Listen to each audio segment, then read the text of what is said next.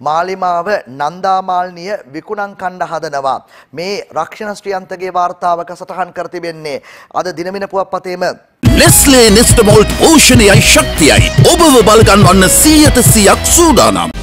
ඔබට මගහැරෙන පෝෂණය වෙනුවෙන් ඉන්ට්‍රසෝල් වාර්තාවක එලෙස සඳහන් කරන්නේ නන්දා මාල්නියට මුවාවී තම වැරදි වසා ගැනීමට ක්‍රියා නොකරන්නේයි ජනතා විමුක්ති පෙරමුණෙන් ඉල්ලා සිටින බව පාර්ලිමේන්තු මන්ත්‍රී එස්.එම්. මරික්කා ප්‍රකාශ කර තිබෙනවා. ජනතා විමුක්ති පෙරමුණේ සුනිල් හඳුන්නෙත්ති කියනවා කළු සල්ලි සුදු කරලා රටේ ආර්ථිකය ගොඩ ගන්නවා කියලා. ජනතා විමුක්ති පෙරමුණේ ලාල්කාන්ත කියනවා පයෝදර පෙළපාලි පවත්වලා සංචාරක කර්මාන්තය දියුණු කරනවා කියලා. ජනතා විමුක්ති පෙරමුණේ නායක අනුර දිසානායක කියනවා අප නැතුව ණය දෙන බැංකුවක් හදනවා කියලා. මේ වගේ අමනෝක්ඥ කතා තමයි ජනතා විමුක්ති පෙරමුණ දැන් ප්‍රකාශ කරලා තියෙනවයි කියලා මේ වාර්තාවේ සටහන් කර තිබෙන්නේ. මේ අද දිනමින පුවත්පතේම වාර්තාවක සඳහන් කර තිබෙන කාරණාවකුයි එලෙස අපි උපුට ගන්නේ.